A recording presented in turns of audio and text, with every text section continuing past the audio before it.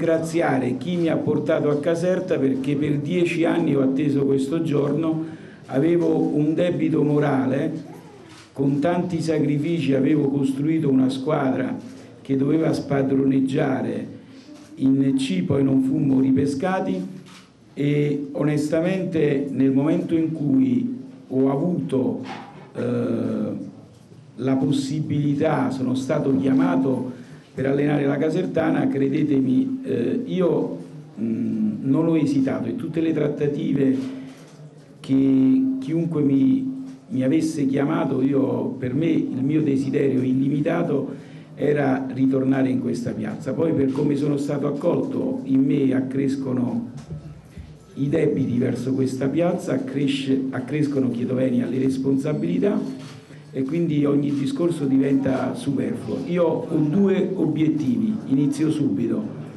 Eh, io non ho nulla da ringraziare a nessuno, quello che mi sono costruito me lo sono costruito attraverso il campo, la gavetta, i sacrifici, l'onestà, la moralità, il mio modo di essere, che non l'ho mai cambiato e probabilmente ha fatto sì che la mia carriera, non per presunzione, non fosse stata come quella di tanti altri miei colleghi, ma sono fiero e orgoglioso di essere me stesso. Io ho due obiettivi immediati, quello di portare la Casertana con estrema immediatezza in C1 senza ombra di dubbio.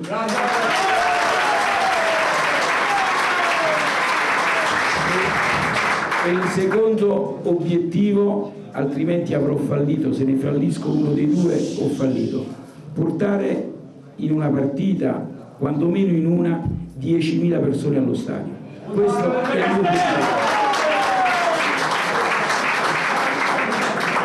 Io volevo Caserta, parola d'onore, e quindi speravo che tutto si risolvesse e ahimè facevo il tifo che qualche squadra venisse esclusa, anche se non lo devo dire, però io volevo venire a Caserta tra i professionisti e stare soltanto un anno in C2 e fare...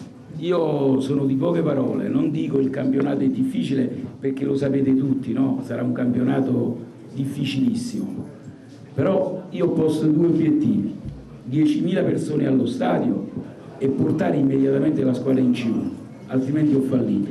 Lo dico in conferenza stampa, io non mi nascondo, non sono come altri, ma, mi, mo, pa, po, no.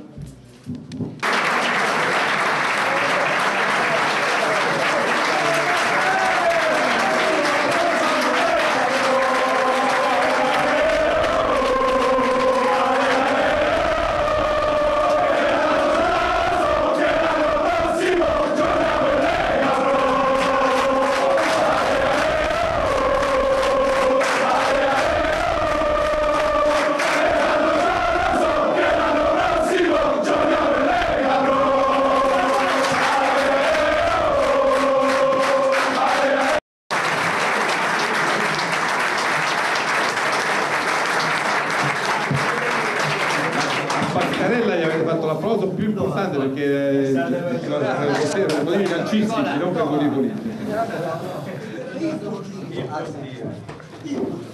Quindi volevo innanzitutto ringraziare tutti gli amici che- con i quali mercoledì sottoscriveremo l'aumento di capitale che poi sarà diciamo, contestuale al rilascio della fiduzione che presenteremo nel- entro il 29 luglio.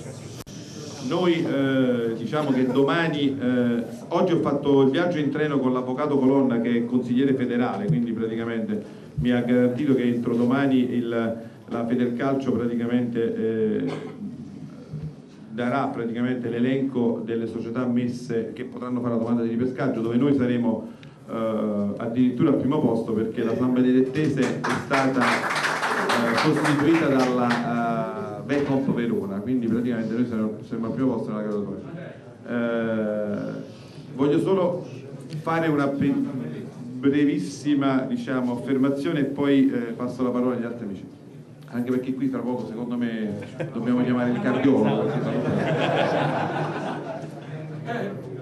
moltissime persone, giornalisti e anche addetti agli spo- al- diciamo, allo, allo sport, addetti ai lavori, ci hanno chiesto ma perché fate la domanda di ripescaggio? Tenuto conto che quest'anno, eh, vincendo il campionato di Serie D, si va direttamente in C1.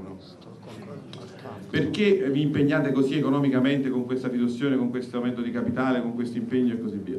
Perché io ne ho parlato con i miei soci e, e, e abbiamo deciso che a noi eh, ci piacciono le guerre, le battaglie. Quest'anno il campionato di Serie C2 sarà come una Serie C1, forse più forte. Eh, andremo a giocare su campi che, dove voi non giocavate da vent'anni praticamente. Quindi eh, si tratterà secondo me di eh, prepararci a una grande guerra, poiché noi siamo abituati a fare le guerre nelle nostre attività lavorative imprenditoriali, non ci spaventa anche la guerra calcistica.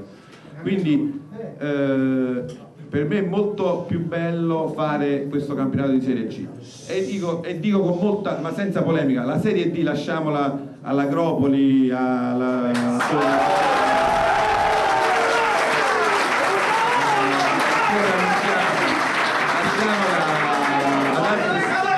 ad altri paesi, a Santa Maria Capovetere. Il progetto che c'ha Giovanni in testa lo conosciamo tutti quanti, sicuramente state tranquilli, noi non ci accontentiamo, cioè noi, questo è un punto di partenza, io l'ho sempre detto, io ci credevo, ma questo è il punto di partenza per trovare tantissima altra gente che dà una mano alla Casertana Calcio. L'ultimo concetto, fidatevi, non vi abbiamo mai detto fesserie, né in politica né dal punto di vista dello sport. Però comprendete pure che chiaramente chi vi parla è sollecitato dalla Juve Caserta, dalla Volalto e da tante altre realtà sportive che giustamente sono presenti sul territorio e se non sono sollecitato io, è sollecitato Pasquale che non sa più a chi deve aiutare. Quindi voglio dire, fidatevi, abbiamo trovato dopo vent'anni un grande presidente non è